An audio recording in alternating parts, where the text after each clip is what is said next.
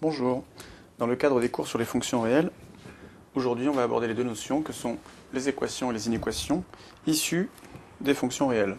Mais dans un premier temps, je vais vous rappeler le principe général de définition des fonctions réelles. Donc on considère qu'une fonction réelle est un opérateur que l'on appelle f, qui a un réel noté x et appelé antécédent, associe un autre réel noté f de x que l'on appelle image. Donc à partir de là, il faut savoir qu'un antécédent a une seule et unique image. En revanche, une image peut avoir plusieurs antécédents. Donc, sur ce bref rappel, on passe directement à la première notion qu'on va appeler équation. Donc l'objet de cette théorie, de ce cours, est de tirer, de déduire une équation des fonctions réelles. Donc le cadre, c'est f, une fonction réelle, définie sur un ensemble de définition D. On appelle C, f, la courbe représentative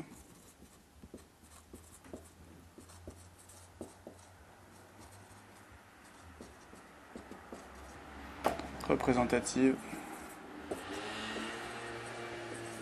de f sur d. On sait que l'équation y égale f de x est l'équation de c.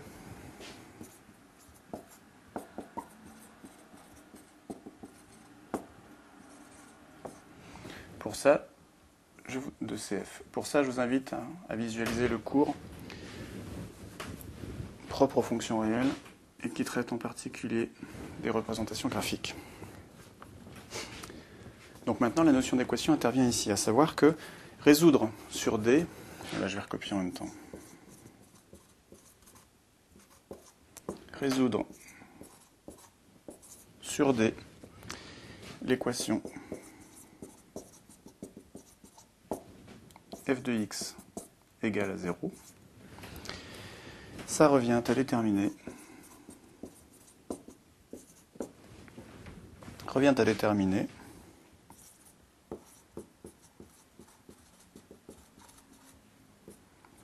à déterminer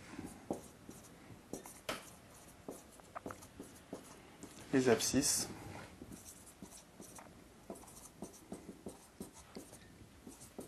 Des points d'intersection entre la courbe représentative, courbe représentative entre CF et l'axe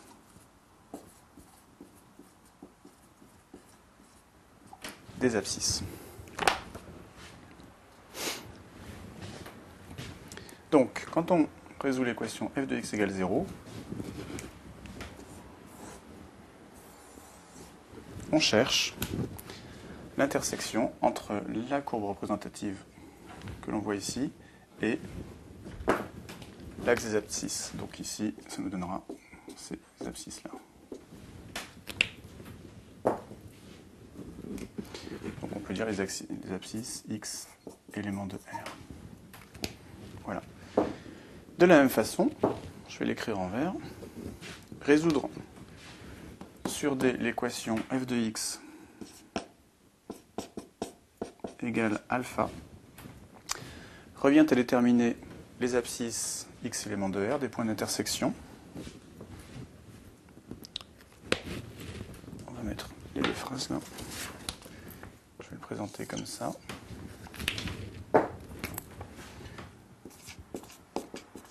Entre CF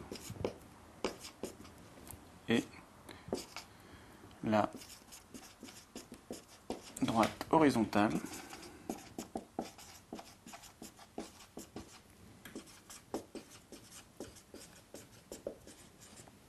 d'équation y égale alpha.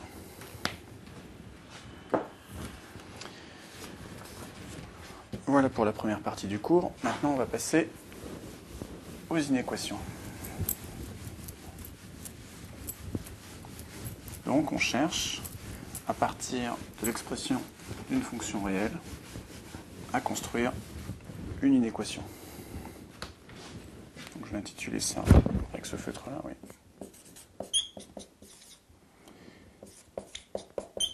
Inéquation. Mais je vais changer de feutre. Donc le cadre de la définition, on considère f une fonction réelle définie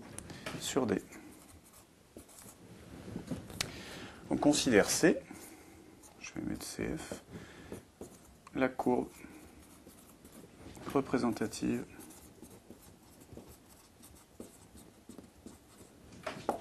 de F sur D. Donc à partir de là, on dit que l'inéquation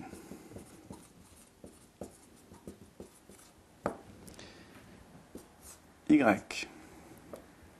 Strictement supérieur à f de x, pour tout x élément de D bien sûr, définit le demi-plan sur l'ensemble de définitions qui est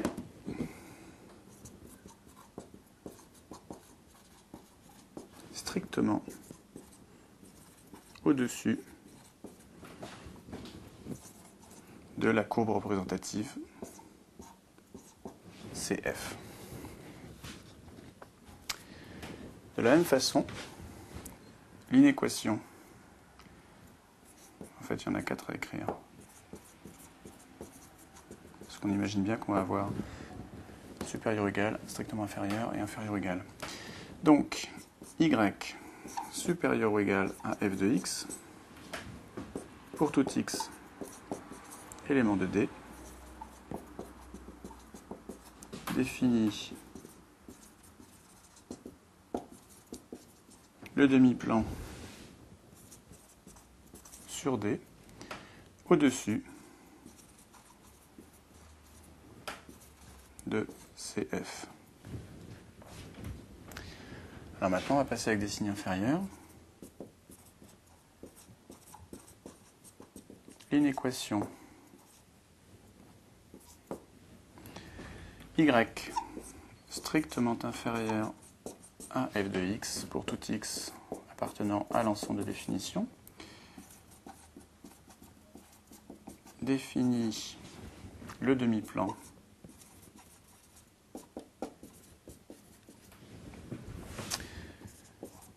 sur l'intervalle donc t strictement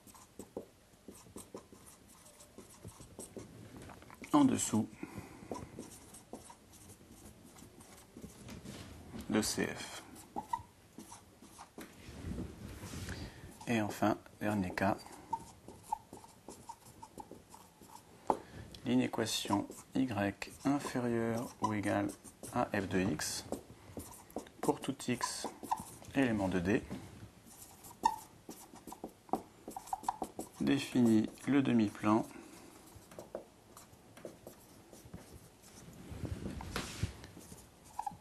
sur l'intervalle D en dessous de la courbe représentative CF. Donc on a les quatre cas.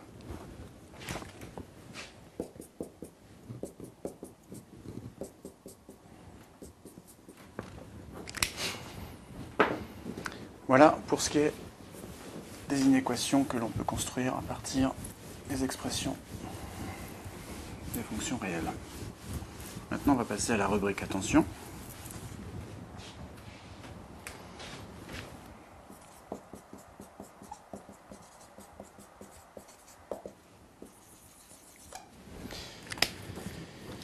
Et eh bien, dans cette rubrique attention, c'est pas la première fois qu'on le dit concernant les fonctions réelles.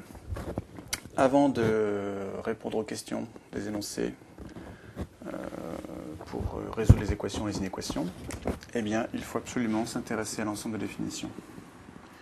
Donc, comment je vais écrire ça? On va dire avant de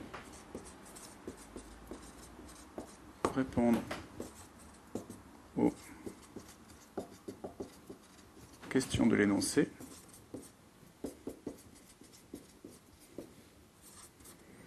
Sous-entendu, questions relatives aux, résolutions d'équations d'inéquations. Il faut, il faut déterminer l'ensemble l'ensemble de définition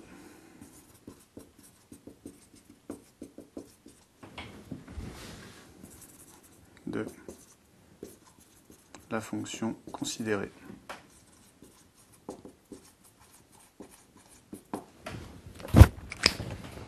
Voilà la rubrique attention. Maintenant, on va pouvoir passer directement aux exercices. Donc, comme d'habitude, quatre exercices,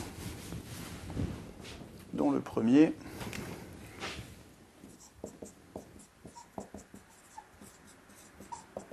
a pour énoncé soit f, la fonction qui a x, associe x cube moins x carré moins 4x plus 4. Soit C, sa courbe représentative, on va l'appeler CF. Courbe représentative de F. Alors, on va noter P, le demi-plan strictement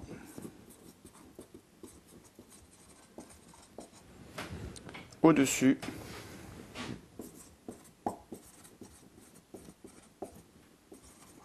de CF et soit P' le demi-plan en dessous de CF. Voilà le cadre de définition de la fonction. Première question.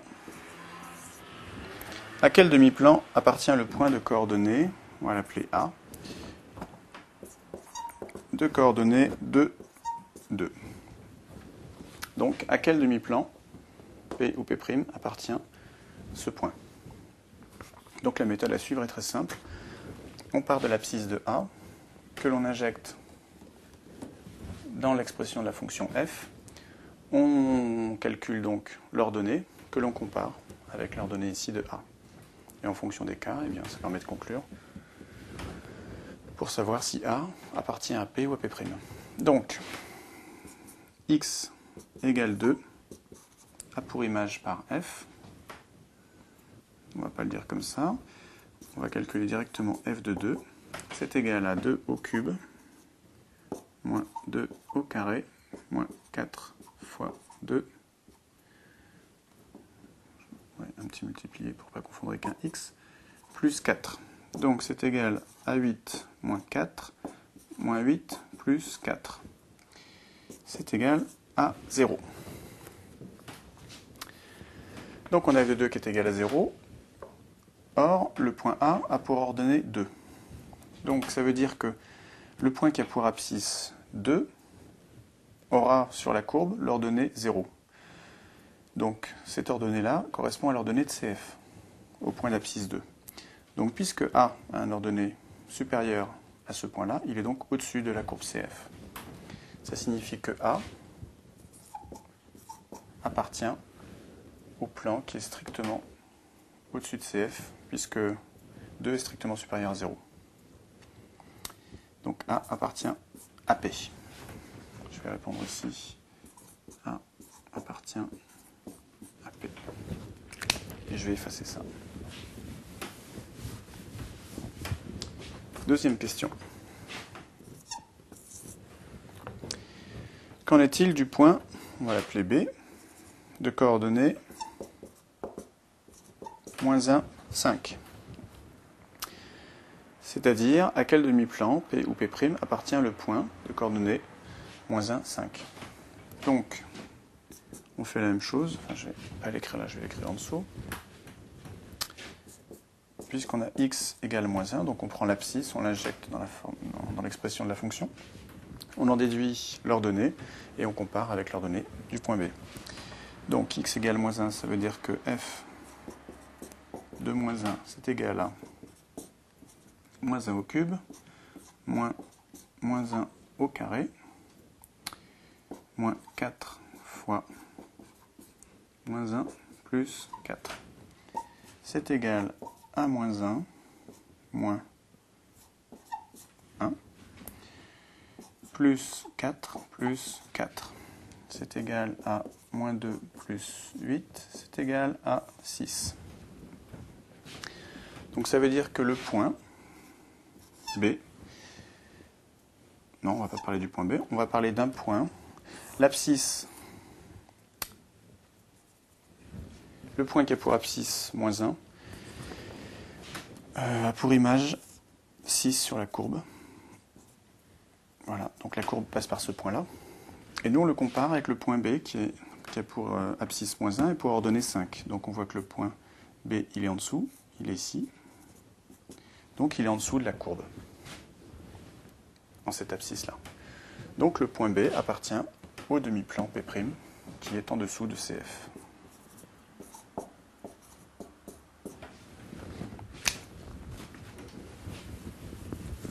Troisième point. Troisième question. Que dire du point, on va l'appeler C, qui est pour coordonnées 0, 4. Donc, même méthode, on part de l'abscisse que l'on injecte dans l'expression, on calcule l'ordonnée correspondante que l'on compare avec l'ordonnée du point C. Donc, x égale 0, ça veut dire que f de 0 est égal à 0 au cube, moins 0 au carré, moins 4 fois 0, plus 4. C'est égal à 0, 0, 0, donc 4. Donc le point d'abscisse 0 a pour image le point sur la courbe CF qui aura pour ordonnée 4. Et il se trouve que c'est exactement le point C. Donc ça veut dire que le point C à la, même ordonnée. Donc le point C est sur la courbe CF. Alors à quel demi-plan C appartient-il? Eh bien au demi-plan qui n'est pas strictement au-dessus ou strictement en dessous. Donc ici, le demi-plan P' est en dessous de la courbe CF, donc c'est élément de P'. Donc j'insiste, quand on dit que le demi-plan P' est en dessous de CF, en dessous, c'est au sens mathématique, c'est-à-dire que tant qu'on ne dit pas strictement en dessous, ça veut dire que le demi-plan P' contient la courbe CF. Voilà ce qui termine le premier exercice. Donc on va passer maintenant à l'exercice 2.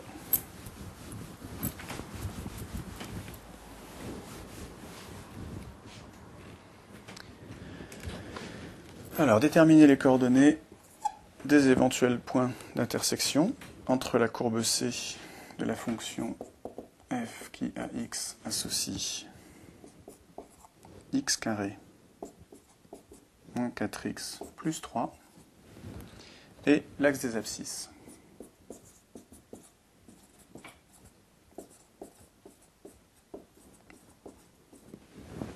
Donc je répète, on cherche les coordonnées des éventuels points d'intersection entre la courbe représentative CF de cette fonction et l'axe des abscisses. Donc l'équation de l'axe des abscisses, c'est y égale 0. Donc premier réflexe, avant de répondre à cette question, eh bien on va chercher l'ensemble de définition de la fonction f. Ici, f est une fonction définie sur R. Pour plus d'informations sur les ensembles de définition, je vous invite à visualiser les cours consacrés justement aux ensembles de définition et aux intervalles qui est disponible sur le site. Donc maintenant, on va chercher les coordonnées des éventuels points d'intersection entre cette fonction enfin entre la courbe représentative CF de la fonction et l'axe des abscisses. Donc ça revient à résoudre l'équation f de x égale 0.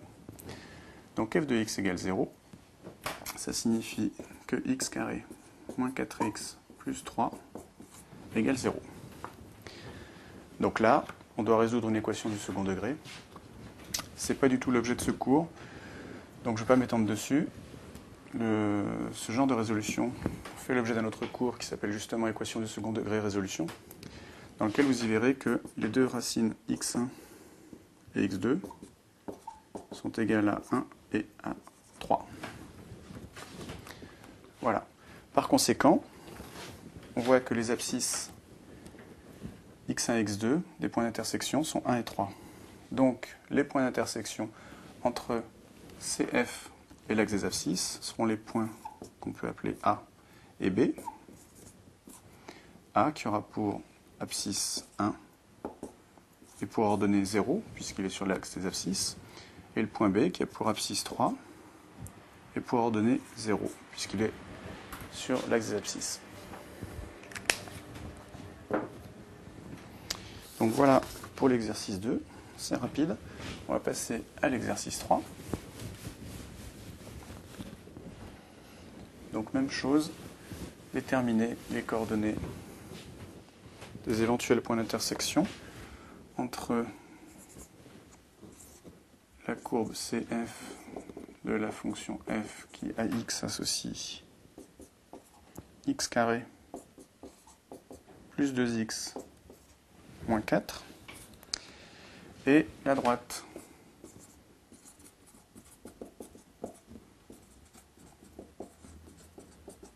Horizontale d'équation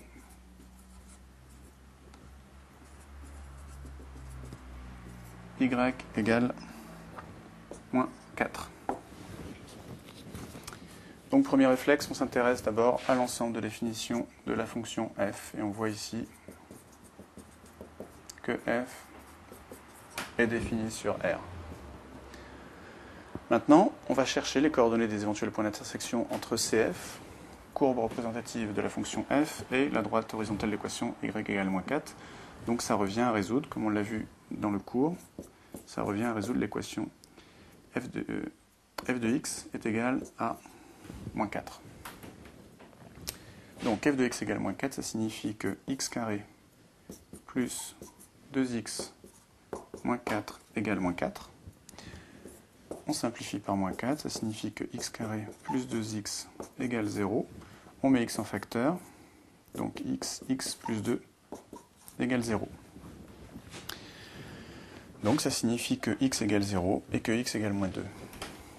Donc les deux solutions sont x1 égale 0, x1 égale moins 2 et x2 égale 0. On va le mettre dans cet ordre-là. Voilà, par conséquent, les abscisses des points d'intersection entre la courbe représentative CF de la fonction f et la droite horizontale d'équation y égale moins 4 sont ces deux réels-là. Donc ça signifie que, enfin on va, appeler ça les points A et B. Donc A aura pour abscisse moins 2, et pour ordonner l'ordonnée de la droite horizontale, et B aura pour abscisse 0, et pour ordonner l'ordonnée de la droite horizontale. Maintenant, on va passer au dernier exercice.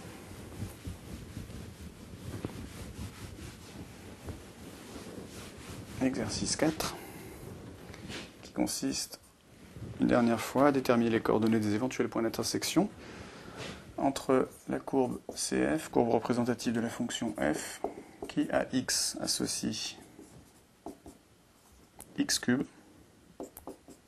moins x carré moins 4x plus 4 et l'axe des abscisses. Alors, l'équation de l'axe des abscisses, c'est y égale 0. Donc, premier réflexe, avant de répondre à la question, s'intéresse à l'ensemble de définition des fonctions. f. Donc on voit ici que f est une fonction définie sur l'ensemble des réels R.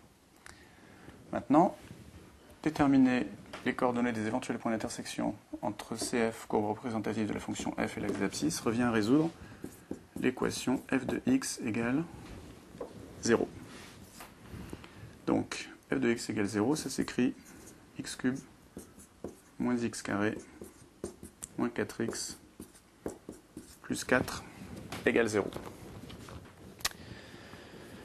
On est en face d'une équation du troisième degré. Donc les équations du troisième degré au programme de première, ce seront toujours des équations simples. J'entends par équation simple, équation dont une racine euh, est évidente à trouver. Donc on parle de racine évidente quand euh, on peut tester les réels 0, 1, moins 1, 2, moins 2 par exemple. Donc vous, vous prenez chacun de ces réels, donc dans cet ordre-là c'est ce qui est le plus simple. Vous testez 0, vous regardez si 0 est une racine évidente. On voit que si on remplace x par 0, on obtient 4 égale 0, ça ne marche pas. Donc on va prendre 1 maintenant comme racine évidente. Si on remplace x par 1, ça fait 1 moins 1, donc ça, ça fait 0. Moins 4 plus 4, pouf, ça marche. Donc, une racine évidente est 1. Donc, dire que 1 est une racine évidente, enfin là, je ne vais pas trop m'étendre sur les résolutions des équations du, second degré, du troisième degré, ce n'est pas l'objet de ce cours, mais ça donne l'occasion de, résoudre cet exercice, donc on va le faire quand même. Donc dire que 1 est une racine évidente revient à dire qu'on peut mettre x moins 1 en facteur dans cette équation. Donc x moins 1, ce sera forcément facteur d'une équation d'un degré de moins que cette équation-là, c'est-à-dire de degré 2. Donc on va écrire ça ax carré plus bx plus c égale 0. Donc l'objet maintenant revient à déterminer a, b et c. Donc on va développer cette expression et ensuite, par identification, on va résoudre ça pour obtenir A, B et C. Donc, on développe, ça nous fait AX cube plus BX carré plus CX. Ensuite, moins AX carré moins BX moins C égale 0. Donc, on rassemble les termes de même degré à x cube plus b moins a x carré plus c moins bx moins c égale 0. Donc, je récapitule ce qu'on a fait jusque-là. On avait cette équation-là.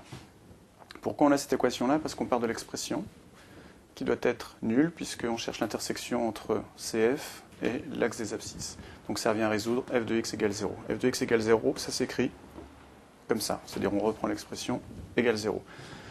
Maintenant, comment est-on passé de cette étape-là à celle-là? Ça, c'est une équation du troisième degré. Donc résoudre une équation du troisième degré, il n'y a pas de méthode systématique. Donc on cherche couramment une racine évidente. Chercher une racine évidente, ça revient à chercher un x solution parmi ces réels-là. On peut continuer si on ne trouve pas 3, moins 3, 4, moins 4. Ce n'est pas la peine d'aller au-delà. Donc là, on a vu que 1 était une racine de cette équation. Donc on met x moins 1 en facteur. Mettre x moins 1 en facteur dans cette équation revient à dire que c'est x moins 1 facteur d'une équation du second degré. Puisqu'ici, on a une équation du troisième degré, donc on a 1 degré et on a 2 degrés ici, donc on obtient aussi une équation du troisième degré. Donc maintenant, on va chercher a, b et c, tel que x moins 1 facteur de x carré plus bx plus c soit égal à ça. Donc on développe et on obtient ça. Donc, on cherche A, B et C, tel que cette expression-là soit égale à celle-là. Donc on procède par identification. On voit que au niveau du x cube, on doit avoir a égale 1. Au niveau du x carré, on a b moins a égale moins 1. Au niveau du terme en x, on a c moins b égale moins 4. Et au niveau de la constante, on a moins c égale 4. Donc ça, ça nous donne a égale 1. En dessous, c égale moins 4. Et b moins 1 égale moins 1. Donc b égale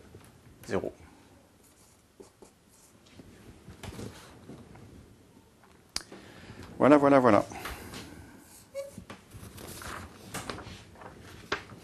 Donc ça nous permet d'écrire que cette expression-là est équivalente à x moins 1 facteur de, qu'on a dit a égale 1, donc x carré, b égale 0, moins 4,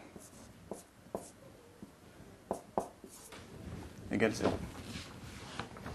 Donc je répète, on remplace a, b et c par leur valeur dans cette expression-là. Donc on a a égale 1, donc c'est pour ça qu'on a x carré. On a b égale 0, donc on n'a pas de terme en x. Et on a c égale moins 4, donc on a moins 4 ici. Donc résoudre ça revient à résoudre ça. Et là on reconnaît une identité remarquable. Donc je vais faire de la place, je vais effacer tout ça.